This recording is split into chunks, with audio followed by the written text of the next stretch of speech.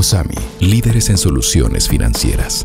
Sí, sí, ellos trabajaron, creo que fueron más, más ordenados, cometieron menos errores y aprovecharon los que tuvieron arriba. ¿Qué se dejó de hacer Mario por parte del equipo? No, como te digo, nosotros cometimos errores que ellos aprovecharon, nosotros tuvimos, eh, generamos oportunidades adelante, pero no fuimos tan contundentes como lo fueron ellos y ahí está la clave para el resultado final.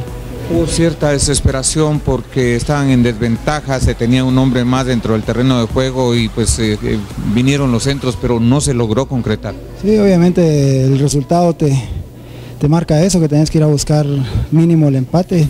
No lo pudimos conseguir, se luchó, pero creo que dejamos escapar puntos importantes esta noche y de los que van en punta se nos despega un poquito, tenemos partidos complicados y tenemos que ver cómo se suman en Antiguo. Y que en este caso era un rival directo el equipo de Guastatoy. Sí, así es, estamos en la pelea por los seis primeros lugares, hoy nos quedamos un poquito, hay que levantar cabeza y, a mejorar mucho.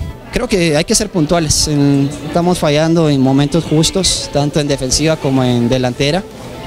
Creo que, bueno, sabemos de que si atrás fallamos nos va a costar un gol y por eso tenemos que ser más contundentes perdón, y precisos en, la ofensiva. Entonces, creo que hay que trabajar en eso, eh, tratar de hacer mejores movimientos en la, en la parte delantera, porque, si, porque sabemos de que si anotamos un par, le da a uno ese colchoncito, entonces es, difícil porque perder del local cuesta bastante, pero, pero bueno, eh, ahora hay que darle vuelta a la hoja eh, sabíamos que en algún momento iba a pasar, no pensábamos que el día de hoy, pero qué bueno que nos pasó. O sea, viéndolo ya fríamente porque nos da chance de, recomponer, de saber que, de poner los pies sobre la tierra, eh, de trabajar de una mejor forma y comprometernos aún más.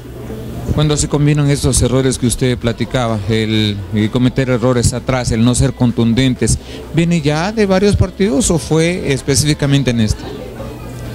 Creo que en este se nota más porque perdemos. Eh, si nos vamos al partido de Sanarate también tuvimos opciones, contra Municipal también.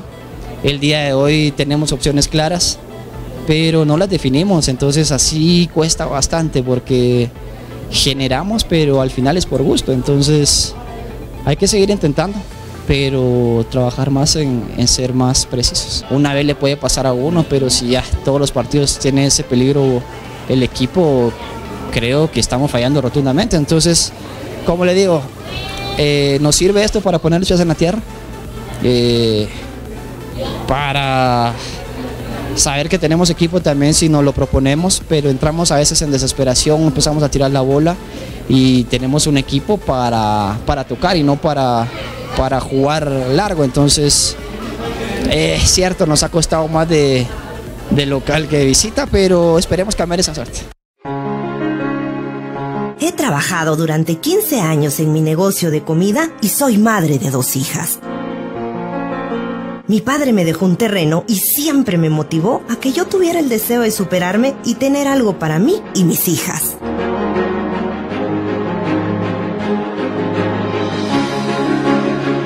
Un día, un asesor de COSAMI me visitó en mi local y me dijo que yo podía aplicar a un préstamo para alcanzar mis metas.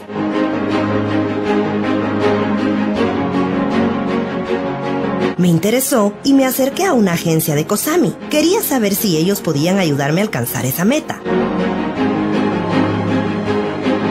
En el año 2015 comencé a construir la casa que tanto soñé, gracias al préstamo que me dio Kosami.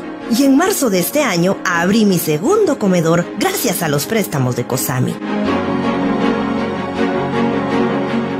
Pero mi padre me enseñó a ser siempre precavida y cuidar a mi familia. Por ello, estoy tranquila, porque si algún día yo les llegara a faltar, mi familia no hereda deudas, ya que en Cosami tengo el beneficio de un seguro que me cubre hasta 300 mil quetzales. Por eso estoy segura que solo en Cosami encontré el préstamo que sí ayuda.